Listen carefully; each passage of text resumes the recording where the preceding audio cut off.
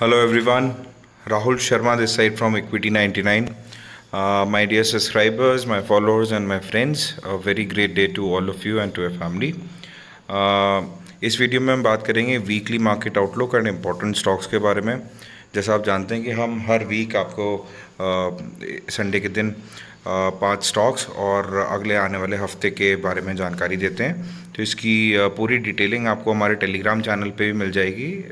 Description box में उसकी detail है इक्विटी 99 का टेलीग्राम चैनल है। जहाँ पे आपको फ्री में लाइव मार्केट एनालिसिस और बहुत ही अच्छे ट्रेडिंग करने के लिए स्टॉक्स और इन्वेस्टमेंट करने के लिए बहुत अच्छे फंडामेंटल स्टॉक्स के बारे में जानकारी दी जाती है। बात करते हैं इस वीडियो के बारे में और सबसे पहले लेंगे हम निफ्टी लेवल्स।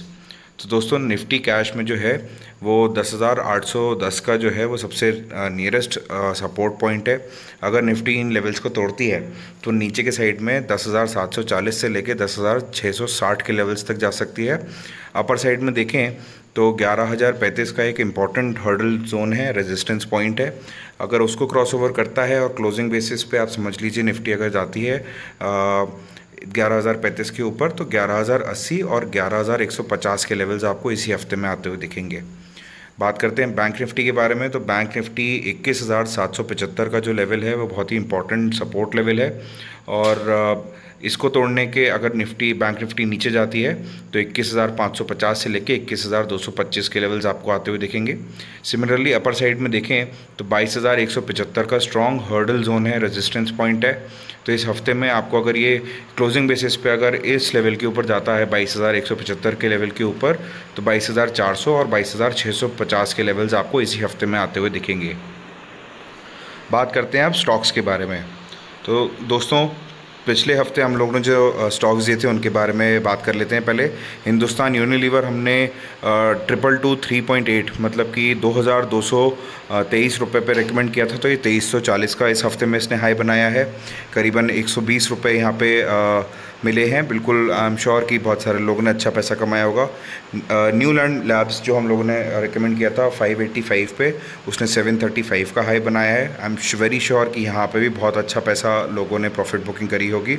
स्पार्क और नवकार कॉर्प जो है, वो हमारी एक्सपेक्टेशन के बिल्कुल भी उस पर खड़ा नहीं उतरा है और उसने बिल्कुल भी परफॉर्मेंस नहीं दिखाई है।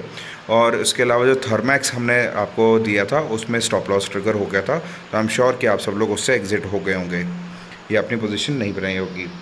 बात करते हैं आप इस हफ़्ते के स्टॉक्स के बारे में। सबसे पहले हम ले रहे हैं वीआईपी इंडस्ट्रीज़ इसकी जो लास्ट क्लोजिंग आई है वो टू सिक्सटी नाइन रुपीज़ के पास में आई है।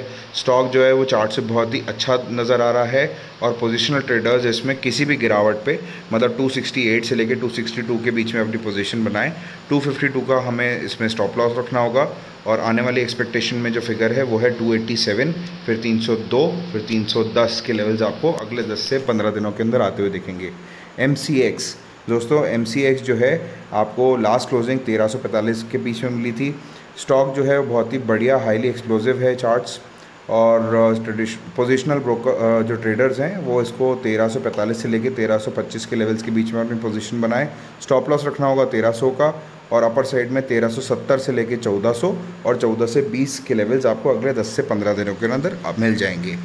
सन फार्मा जो हम लोग ने पहले भी रिकमेंड किया है दोस्तों, यहाँ से बहुत ही बेहतरीन चार्ट में इसमें ब्रेकआउट्स मिल रहे हैं। पोजिशनल ट्रेडर्स पाँच सौ से लेके पाँच सौ की गिरावट जैसी दिखे। वहाँ पे आपको बाइंग बनानी है। फोर का आपको स्टॉप लॉस रखना होगा और एक्सपेक्टेड हाई जो है वो पाँच सौ तेरह से लेके पाँच सौ पच्चीस, फिर पाँच सौ पैंतीस तक के लेवल्स तक जाती हुई दिखेगी। आपको सन फार्मा का स्टॉक दस से पंद्रह दिनों के अंदर। बात करते हैं चौथे स्टॉक्स के बारे में। तो देखिए चौथा स्टॉक हमने लिया रेडिको खैतान। हमने अपने टेलीग्राम चैनल पे भी आ, ये चीज़ हमने रेडिको खैतान वो किया था रेकमेंड किया था। इसकी last closing three ninety one rupees के पास में है। ये स्टॉक जो है वो एक काफ़ी बड़ा मूव दिखा रहा है आफ्टर बहुत ही कंसोलिडेशन के बाद में दिखाने के लिए रेडी है एकदम। इसको पोजिशनल ट्रेडर्स किसी भी गिरावट में 390 से लेके तीन के लेवल्स के बीच में ख़रीदना है। पोजीशन बनानी है। 367 का जो है आपको स्टॉप लॉस रखना होगा और अपर साइड में टारगेट इसके 410 से लेके 425 और 440 के लेवल आपको अगले एक से दो हफ़्ते के अंदर आते हुए दिखेंगे। एक्साइड इंडस्ट्री हमारा पाँचवा सिलेक्शन है 159.45 मतलब करीबन एक सौ के आसपास की क्लोजिंग मिली है। इसको पोजिशनल ट्रेडर्स जो हैं, वो किसी भी गिरावट में लें पोजीशन बनाएँ 159 रुपी से लेके 155 के बीच में बाइंग एरिया है। और जो स्टॉप लॉस है, वो 152 का रखना होगा।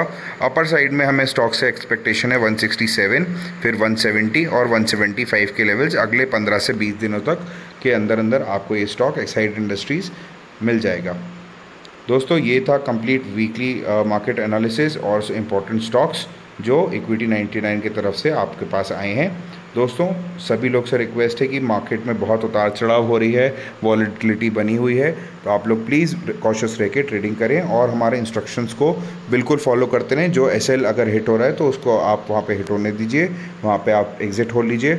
दोबारा से नीचे के लेवल पे दोबारा एवरेजिंग करने की ज़रूरत नहीं है।